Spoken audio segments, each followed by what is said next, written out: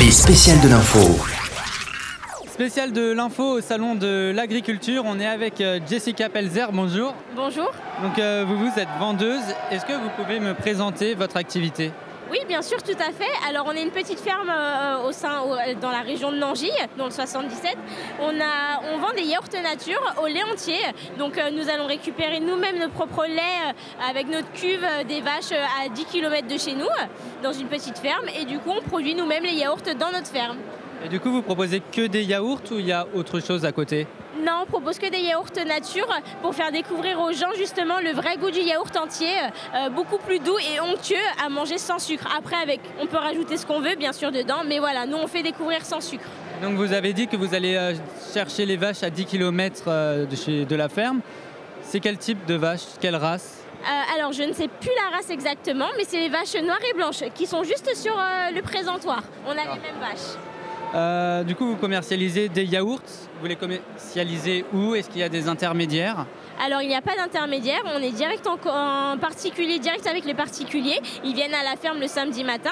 Et ensuite, on commercialise aussi dans les grandes surfaces telles que euh, Carrefour, Intermarché ou Auchan.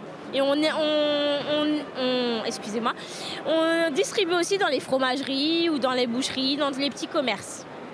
Quels sont pour vous les objectifs des circuits courts? Alors ça permet de promouvoir euh, vraiment le, le métier entre l'agriculteur, le produit, valoriser euh, les circuits courts et valoriser le produit et les agriculteurs. Donc pour vous, c'est important de le faire? Oui, oui, c'est très important. Bah, ça, ça permet de valoriser et d'aider en tout cas les producteurs parce que sans nos agriculteurs, bah, on ne fait plus rien de nos jours. Quelques petits chiffres. 55% des Français souhaitent euh, manger mieux, manger local. Qu'est-ce que vous en pensez? Je trouve ça très bien, mais il faudrait encore plus. Il faudrait que beaucoup plus de gens s'en rendent compte et qu'ils commencent à manger plus local. Et euh, 8 Français sur 10 estiment avoir pris euh, conscience de l'importance du travail des agriculteurs depuis la crise du Covid en mars 2020. Est-ce que vous l'avez ressenti, vous, en tant que vendeuse?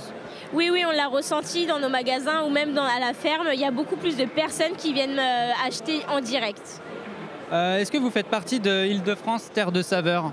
Alors là, je pourrais pas vous dire, on est en pourparlers pour le moment. Et euh, vous espérez, euh, j'imagine, euh, entrer dans cette association? Oui, oui, oui, complètement. Et qu'est-ce que- qu'est-ce qu'elle va vous apporter? Qu'est-ce que ça va vous apporter de plus d'être dedans? Est-ce que vous aurez des aides financières, par exemple? Je, là, je ne pourrais pas vous dire, je ne sais pas du tout. D'accord, bah écoutez, c'est parfait. Merci beaucoup, Jessica. Les spéciales de l'info, ça continue. On vous retrouve dans quelques instants sur Sensation. Les spéciales de l'info sur Sensation.